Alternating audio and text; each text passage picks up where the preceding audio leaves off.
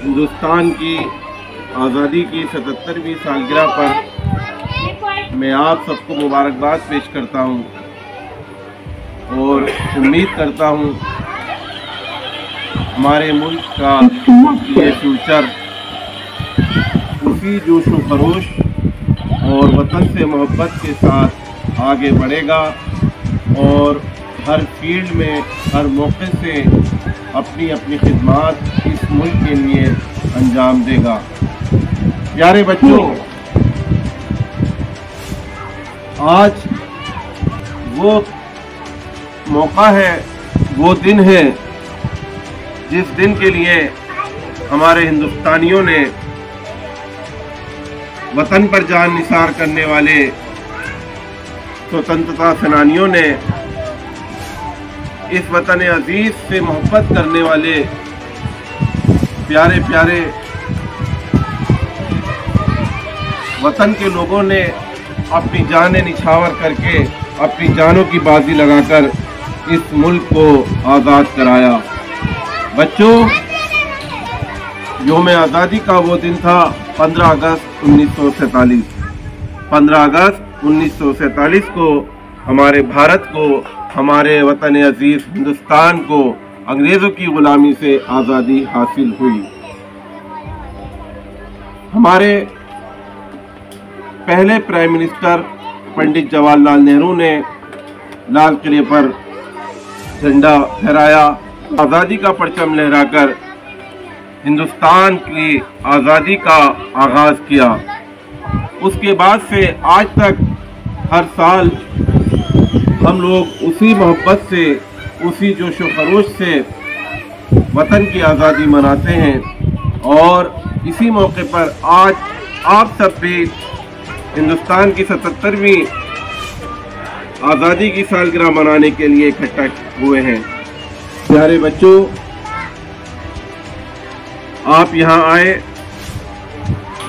आप सबका इस्तकबाल है। ये जश्न आप ही का है। आप ही के लिए मुनद किया गया है। आपके दिलों को इस मुल्क की मोहब्बत से मुनवर करने के लिए जश्न मुनद किया गया है।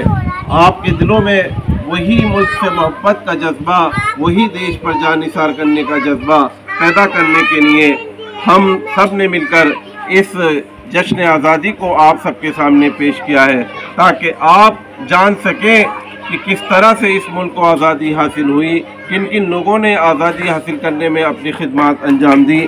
आगे बढ़कर आपके अंदर भी वही वतन अज़ीज़ से मोहब्बत का जज्बा पैदा हो और आप इस मुल्क में अप अलग अलग तरीके से अपने अपने सलाहियत के एतबार से खिदमत अंजाम दे सकें।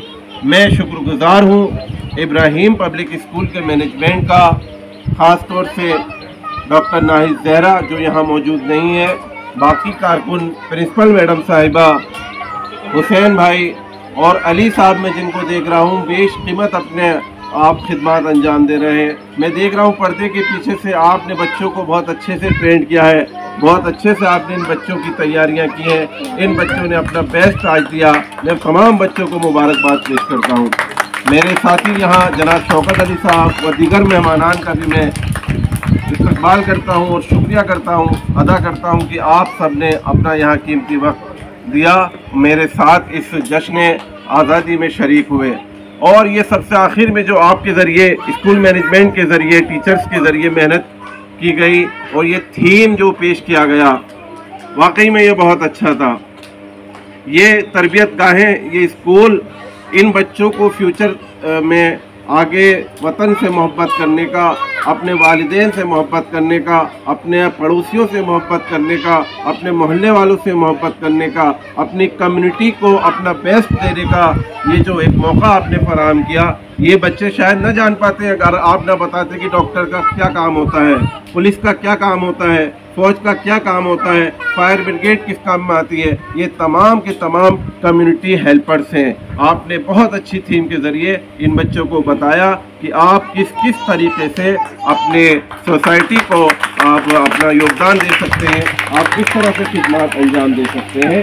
और आखिर में मैं आप सबको फिर इस मुल्क से, इस योम आज़ादी की मुबारकबाद पेश करते हुए रुख्सत चाहूँगा। शुक्रिया।